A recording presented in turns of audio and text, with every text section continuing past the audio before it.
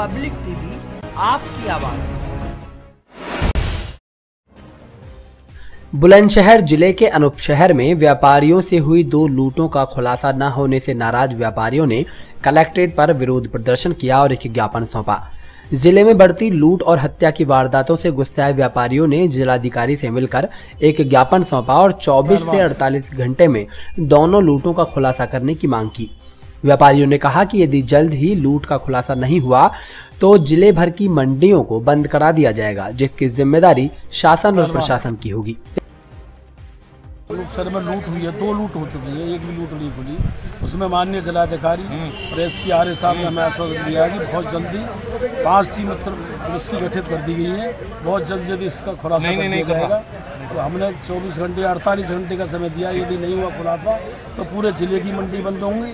यदि ज़िले की मंडी के बंद होंगे तो पूरा पश्चिमी प्रदेश भी बंद कराया जाएगा।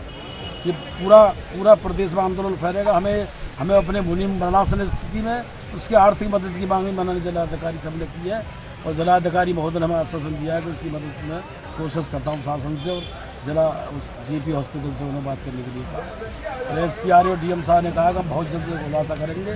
पाँच पुलिस की टीम इसके लिए घटित करी। हमें इसका खुलासा चाहिए, हमें अपना पैस कैश बरामद चाहिए।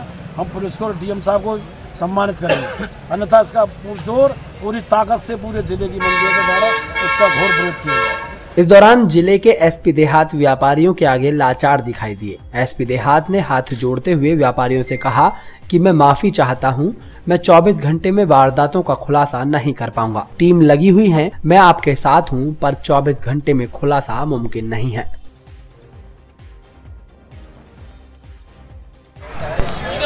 अभी हमारे एसएसपी भी नहीं है। जी, हम बिल्कुल लगे